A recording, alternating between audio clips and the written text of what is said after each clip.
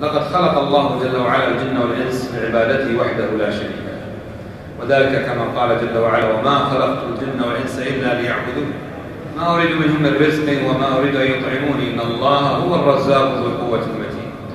حتى لا يتوهم متوهم أن الله بحاجة إلى عبادة العباد قال جل وعلا ما أريد منهم من رزق. أي كما يريد عادة الأسياد من عبيده. قال الله ما أريد منهم من رزق. وما أريد أن يطعموني. إن الله يطعم ولا يطعم. إن الله هو الرزاق ذو القوة المتين وإنما رحمة بالعباد أرسل الله رسله وأنزل كتبه وأمرهم بعبادته حتى يكرمهم إذا نالوا رضاه ويدخلهم الجنة. قال جل وعلا وما أرسلناك إلا رحمة للعالمين. هذا رسالة الرسول وإنزال الكتاب. قال جل وعلا هدى ورحمة للمحسنين.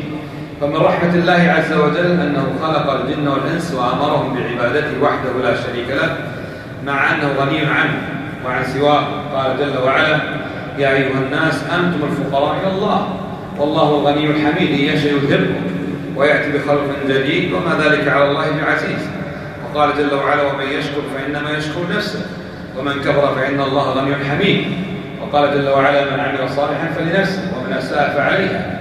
وقال جل وعلا إن أحسنتم أحسنتم لأنفسكم وإن أسأتم فلها. فالمقصود أن الله غني عن عبادة العباد ولكن من رحمته الواسعة التي وسعت كل شيء خلق الجن والإنس وأمرهم بعبادته حتى يكرمهم إذا نالوا رضاه.